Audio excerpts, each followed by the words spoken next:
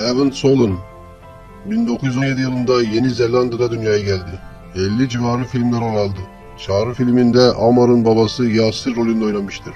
Seslendirmesini Şener Şen yapmıştır. 1985 yılında 68 yaşında İngiltere'de öldü. Evet, Muhammed Cömert her şeyini paylaşıyor, dağıtıyor. Tebessümünü kimseden esirgenmez. These wounds are not the savage slashings of careful, well-defined abdominal incisions that show a good knowledge of anatomy and surgery. Simon,